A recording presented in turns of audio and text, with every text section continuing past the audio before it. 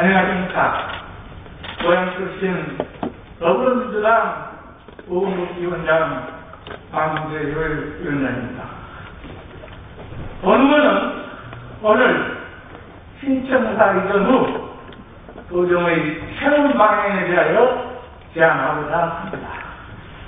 경기도청은 1967년 서울특별시 광화문에서 수원시 8달구로 이전되었습니다.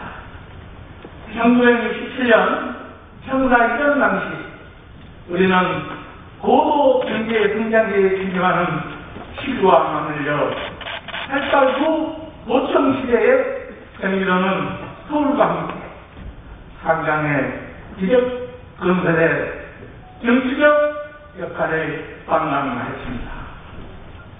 오늘 이 자리에 함께 하시는 모든 분들이 다 알고 계시듯 이번 본 회의는 청사가 새로 이전된 이후 처음으로 개최되는 회의입니다. 참으로 가슴벅찬 순간입니다.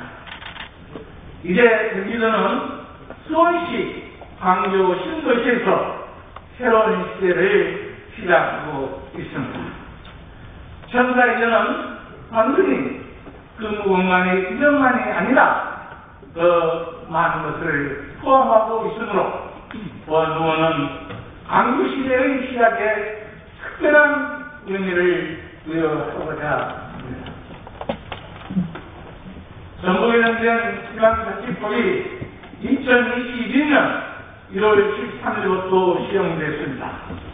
이번에 개정된 지방자치법은 진정한 지방자치 시행을 위한 간단한 연망의 방안입니다. 더 끝인 것은 실질적인 지방자치 구현을 위한 법 실행을 강조시대와 같이 시작하게 됐다는 것입니다.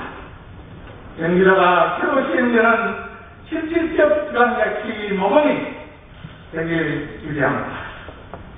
우리가 기대하는 실질적 지방자치는 기존의 형태를 반복하는 구태한 구태의람에서부터 벗어난 것을 의미합니다. 세술은 세부대라는 말이 있습니다. 번호는 이 문구의 의미를 살려고 있는 것은 하는 대로 잘하되 새로운 것은 새로운 틀과 관점에서 실천해야 한다고 생각합니다.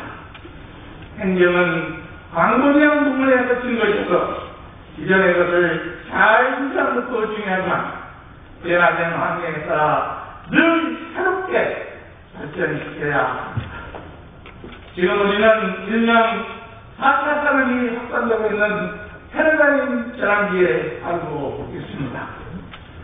신기술을 활용한 새로운 제품과 서비스 일정 조건에서 시장에 우선 출시에 시험 검증할 수 있도록 하여 그 과정에서 수집된 데이터를 토대로 기계를 합리적으로 개선하는 기계 샌드박스 제도도 제도되고 있습니다. 기계 샌드박스 제도가 시행되기 위해서 공직자는 서구 행정을 해서는 안 됩니다.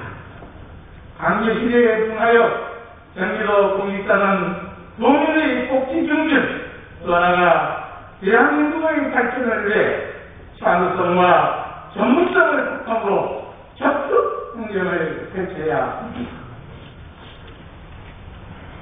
의미 지방자치부에는 모든 공직자의 적극적인 자세가 있을 때 가능한 것을 강구하기 위함입니다.